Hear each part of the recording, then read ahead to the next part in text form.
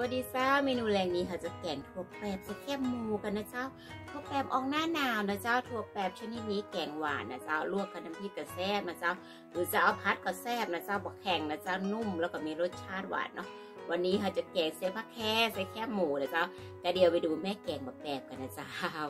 ลักษณะต้นทั่วแปรเป็นเถานะเจ้าออกลูกเป็นฝักเนาะเป็นเถาเป็นเครือนะเจ้าเราก็เก็บแต่ฝักอ่อนๆนะเจ้ามาเด็ดมาใส่เนาะผัดเป็นก้อมเป็นแก้มนะเจ้ามาดูในส่วนเครื่องแกงก็จะมีหอมแดงนะเจ้ากระเทียมเนาะพริกแห้งใส่ลงไปเลยนะเจ้า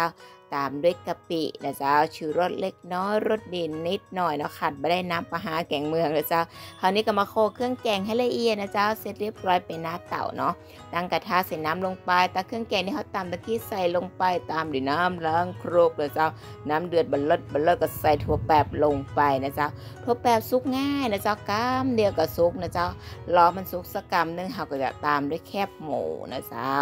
อ่าสุกแล้วแคบหมูใส่ลงไปนะเจ้า คนคลุกเคล้าให้เข้ากันนะเจ้าขั้นตอนสุดท้ายท้ายสุดนะเจ้าขาดบ่ได้ใบชะพูหรือผักแครนะเจ้าใส่ผักแครลงไปในหอมคึหอมขึ้นนะเจ้าอันนี้แกงกระสุกเรียบร้อยกับตักใส่ถ้วยใส่ชามได้เลยนะเจ้าเมนูไทยบ้านเมนูตามฤดูกาลเนาะแกงทั่วแปบใส่แคบหมูเจ้า